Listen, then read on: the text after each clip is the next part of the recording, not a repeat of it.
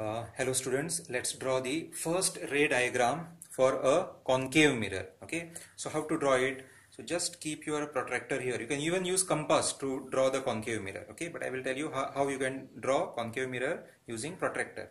So this is the 90 degree line. Okay, this one. So you take 30 degree on top. Okay, for example 60 here. So from here to here 30 degree, 10, 20, 30 and 30 degree down, 10, 20, 30. Okay, you just draw an arc like this okay? So this is your concave mirror. And this point is called the pole of the mirror. It is P okay? And just shade the back side of the mirror. This is the non-reflecting side of the mirror.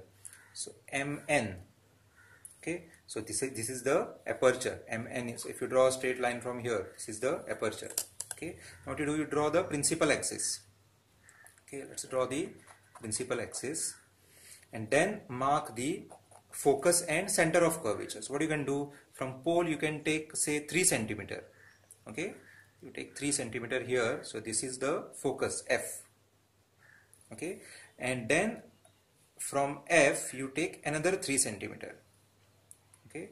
So it is the center of curvature center of curvature and this is focus. So what is most important thing here is PF distance and FC distance should be the same. F is the midpoint of this CP. You could have taken it 2 centimeter and 2 centimeter not a problem. So I have taken 3 and 3. Okay. Now so the first uh, in the first figure the object is placed at infinity. So let's draw the object here at infinity. Okay. So here is the object so this is A, this is B. So this arrowhead is important. This is the head of head of the uh, object. Okay, uh, and this is the tail. You can imagine it in that way. Okay. Now to draw the ray diagram. So why do we draw ray diagram? Just to know where is the image formed. What whether it is small, whether it is big, whether it is of the same size as of the object and all. Okay. So this we uh, this we find out using ray diagrams so what we'll do is we just need two rays okay to know where the image is formed. So let's draw any two rays okay. So uh, I'll start from here. So the the object is at infinity. Infinity means it's very very far from this concave mirror okay. So let me draw the first ray that is parallel to the principal axis okay.